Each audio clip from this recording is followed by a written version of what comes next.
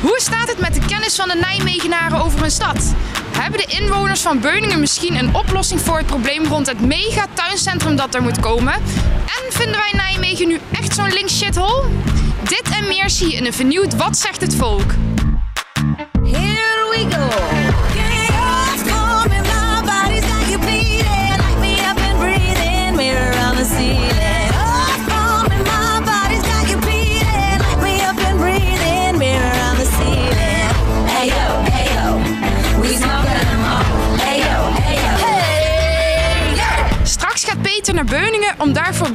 Om advies te vragen over het probleem waar de gemeente mee kampt. Van Kranenbroek wil daar namelijk een megastore vestigen, maar dat heeft heel wat voeten in aarde. Ook gaan we het hebben over de online encyclopedie van Nijmegen. Wat weten we eigenlijk al over onze stad?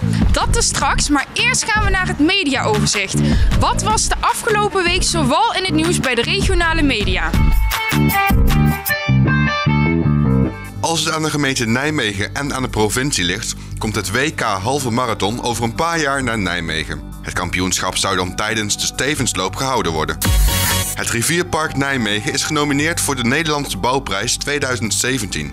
De nominatie valt in de categorie civiele kunstwerken. In de Molenpoortpassage bevindt zich de grootste Sinterklaastekening van Nederland. De tekening is 70 meter lang, waarvan al ruim 25 meter is ingekleurd.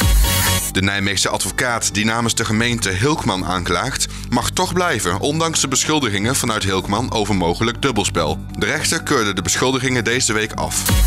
En deze zaterdag wordt in Nijmegen Fort Knotsenburg officieel heropend. Op het nieuwe stadseiland Furland is de locatie van het fort de afgelopen tijd gereconstrueerd. En vanaf nu weer open voor publiek. Here we go. Het laatste nieuws uit de regio, maar ook live naar N1 kijken en luisteren. Je ziet het op n1.nl. Van Kranenbroek is een tuincentrum dat verspreid door het hele land een aantal megastores heeft. Nu heeft het bedrijf plan om ook zo'n grote vestiging hier in Beuningen te openen. Nou, de beoogde locatie hiervoor is het terrein waar momenteel tuincentrum Bul is gevestigd.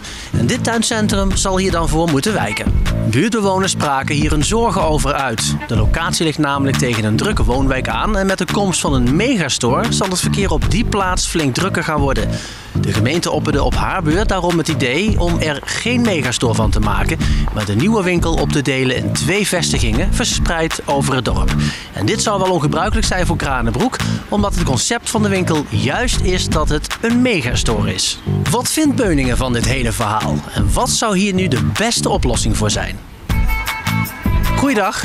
Wij zijn, van, wij zijn van Wat zegt het volk? En eh, Van Kranenbroek gaat waarschijnlijk hier in Beuningen komen. Daar heeft hij vast wel van gehoord. Nou, waarschijnlijk gaat hij niet in Beuningen komen. Waarschijnlijk niet. U weet al meer?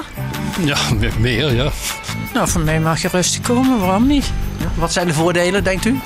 Ja, nou, omdat wij altijd toch, als we naar eh, Kranenbroek gaan, een eindje moet, eh, daarvoor moeten rijden. En dan- nu komt u lekker dicht bij huis. Helemaal te gek. Ja? Ja. Heel positief. Ja. Alleen ik vind het wel jammer dat Bul weggaat. Bent u ervoor of tegen?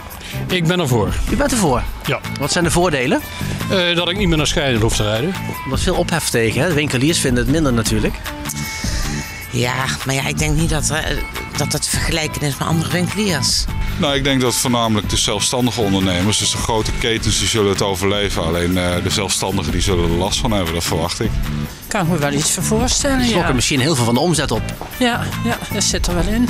Het laatste plan is dat het, eh, dat het bedrijf gesplitst wordt. Dus eh, als er een deel in het centrum komt, dan zal waarschijnlijk eh, hier het centrum voordelen van eh, halen. Oh, kan het ook hier? Ja. Ik heb alleen Bul. Daar wordt nog over, over gedebatteerd. Oh, oké. Nou, ik, eh, ik zou het niet doen. Laten we hopen dat hij er niet komt. Want het kan natuurlijk eh, niet. Hè? Hoe tegenstrijdig is de gemeente Beuningen als je mee gaat doen eh, voor het groenste dorp van Nederland. En je gaat eh, complete fruitbomen, alles plat gooien om zo'n megastore eh, te gaan bouwen. Wordt dat, wordt dat gedaan dan? Ja, als men praat over Bul eh, Tuincentrum, eh, hebben nog niet eens eens over politieke belangen. Hè? Want eh, de eigenaar zit natuurlijk ook nog eens een keertje in een politieke partij. Dus belangenverstrengeling en dergelijke. Ja, moet maar eens een keertje besproken worden. Nou, ik denk dat de, midden- de middenstand bang is eh, voor grote concurrentie, omdat ze alles verkopen. Een megastore Kranenbroek, die is in opkomst. Dat klopt. Wat vindt u dat daarvan? willen wij. Maar dat willen wij helemaal niet. Nee? Nee. Waarom niet?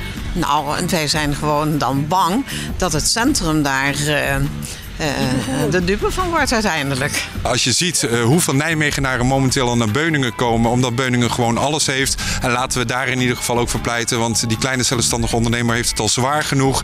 eh, heeft het hier goed vertoeven. Eh, het is hier altijd gezellig, het is hier goed te doen. Zelfs ben ik ook vanuit Nijmegen naar Beuningen gegaan, eh, juist daarom. En het zou zonde wezen als straks het helft eh, van het centrum leeg is, omdat daar in één keer zo'n groot megastore op loopafstand komt. Ik heb eh, zelf een grote antipathie tegen alles wat mega is. Eh, de mens verdwijnt, eh, het wordt één massa en eh, dan kom je in allemaal van die halve fabrieken waar, waar alles eh, in slagorde staat opgesteld. En Volgende week wordt er verder over gesproken in de, in de gemeenteraad. Bent u zelf voor of bent u tegen? Voor mij, voor mij mag die komen. Maar mag die komen? Voor mij mag die komen. Ja, zeker. Het geeft, zegt men, wel heel veel werkgelegenheid. Dat vraag ik me af. Kijk, eh, heel simpel. Albert Heijn Jacobslaan heeft mijn ex heel lang gewerkt. Ik heb die zaak eh, vanuit mijn jeugd al leren kennen. is inmiddels ook zo'n megastore geworden, zo'n XXL. En ik snap dat het is vanwege de omzet. Maar er zijn alleen maar mensen uitgegaan. En wat er terug is gekomen is allemaal jong volk wat een jaar blijft en vervolgens verder gaat. Dus Ja, ik heb ook gehoord dat ze dus eh, twee winkeltjes zeg maar, zouden willen hebben. Zowel aan de Verneemstraweg zeg maar, als in het dorp. Ik weet Zou dat een betere optie zijn? Ik weet het niet. Maar ja, megastore is megastore. En. Kranenbroek zegt we willen groot zijn, dus Ja, we willen er één. ik. Nee, maar dat vind ik niet goed. de mens zoals ik komt nergens meer aan het werk. Zo simpel is het. En we kunnen dus ook niks uitgeven. Het is eigenlijk een beetje te veel ophef. Ja, ik denk het wel. Ik denk dat het de middenstand is die het meeste tegenwerkt. Ik denk dat jullie de politiek in moeten gaan. Jullie zijn heel nuchter onder, zo van het moet goed komen, weer wat parkeerplaatsen aanleggen.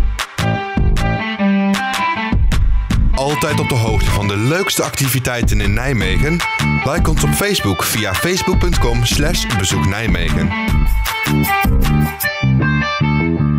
Zometeen checken we de feitjes over Nijmegen en nemen we een kijkje in de Nijmeegse agenda voor de aankomende week.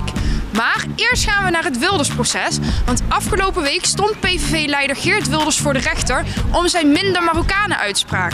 Hier werd uiteraard ook veel over getweet en een van de twitteraars noemde Nijmegen een één groot links shithole.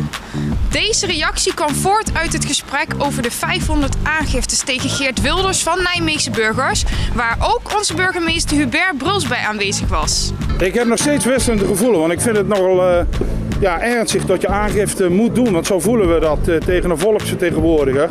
Maar het voelt natuurlijk wel heel warm dat zoveel mensen eh, dat mee met ons willen eh, doen. Goedemorgen burgemeester. Goedemorgen meneer de districtchef. U komt met een heleboel eh, Ja. mensen bij ons. En eh, de meeste van, in ieder geval ik en een aantal willen aangifte doen eh, tegen discriminatie.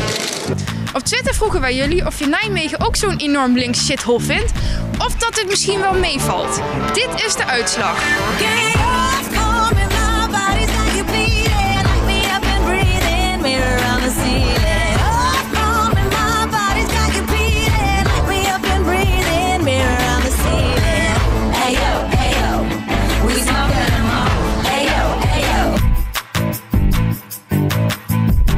Deel je mening over het nieuws ook op Facebook via facebook.com slash altijdn1 en op Twitter via altijdn1. Vergeet Wikipedia. Op dit moment is er een online encyclopedie over Nijmegen in ontwikkeling. De makers heten NC en zij roepen Nijmegenaren met kennis over een bepaald aspect op om een bijdrage te leveren. Nou, ik vraag mij af in hoeverre Nijmegen al op de hoogte is over een stad. Dit peilen we door middel van een aantal typisch Nijmeegse vragen. Wat zijn eh, de stadskleuren van Nijmegen? Zo. Ja. Goed, eerst goed nadenken voor je antwoord geeft. Volgens mij is het niet zo moeilijk. de kleur van NEC dus rood, groen, zwart. Klein hintje misschien. groen en rood. Rood en zwart. Oh. Ja, groen komt er niet in voor. Oh, dat is bij NEC. Ja, dus ja. Ja, dat staat wel goed. Welk evenement vindt elke derde zondag van november in Nijmegen plaats? Derde zondag in november. Afgelopen zondag was die nog, hè? Ja, de Zevenheuvelloop. Ja, nou kijk, de kennis is goed, joh. Hartstikke goed. Dat was 20 november. 20 november. En dat was 20 november. En daar is ook door Groesbeek heen gekomen. Ook over de zeven heuvelen. Oh, de Vierdaagse. Nee, dat, dat je bedoelt van de Broeders van Limburg. Dat nee, dat is in, in augustus. Nee, dat is helemaal fout. Dat was afgelopen zondag nog. Nee, maar we komen niet iedere zondag in de stad. We komen alleen door de week. Ze houden niet van de koopzondag. Wat is, dat is misschien een moeilijke, Nimma? Dat is een schoenenmerk, toch? Een schoenenfabriek. Wat is Nima? Dat is, eh, ja, we zeggen de straatnaam voor de stadsnaam Nijmegen. Wat is Nimma? Nimma. Zou ik niet weten. De straattaal, de benaming dus van Nij voor Nijmegen. Oké. Wanneer waren de Piersonrellen in Nijmegen? Ja, in de jaren 80. Ja. Welke Nijmeegse instelling is ooit ontstaan als verzamelplaats voor hippies? Hippies, jaren 70. Beetje rare kledij, zeg maar. Geen idee. Dat zou je eigenlijk misschien moeten weten. Ja, Staat nog steeds. Verzamelplaats voor de hippies. Nee, dat moet ik aan mijn moeder Vlak vragen. bij de Waalkade. Door een roosje. Oh ja, ja, ja, ja, ja. Was dat voor de hippies? Oké. De oudste winkelstraat van Nederland ligt in Nijmegen. Welke straat is dit?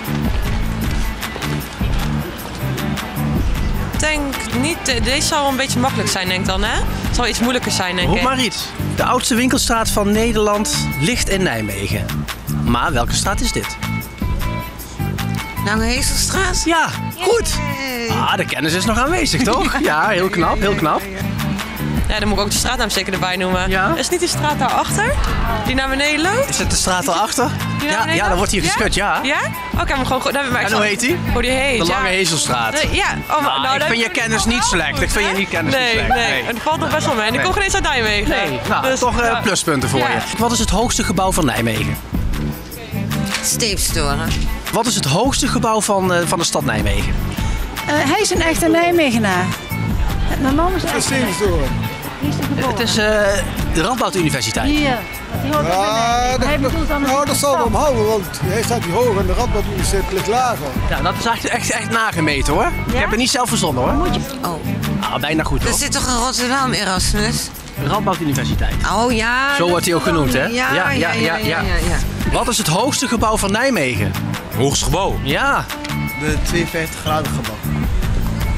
52 graden Nee, nee, dat is niet het goede, an- goede antwoord. Hoe ik weet niet hoe hij Radboud Universiteit. Ah ja. Oh, eh, Ja, ja, is net iets hoger. Welk jaar werd de eerste Vierdaagse gelopen? De eerste Vierdaagse. Ehm, dat is toch... Is dat al 100 jaar? Afgelopen jaar was de 100ste editie. Dus dan is het is nu eh 2000... We zijn een paar keer een, eh, hebben wat overgeslagen. 19... Dan moet ik het jaar raden, hè? Ja. 19... Dat is al een goed begin. Zes? Zeg ik dat nou? Ik zeg het heel raar. Wauw, in één keer hoofdrekenen hoor. Oh god, en ik loop de hele dag bij... eh, eh, eh, ehm, 1945. Nee, afgelopen jaar was de 100ste, hè?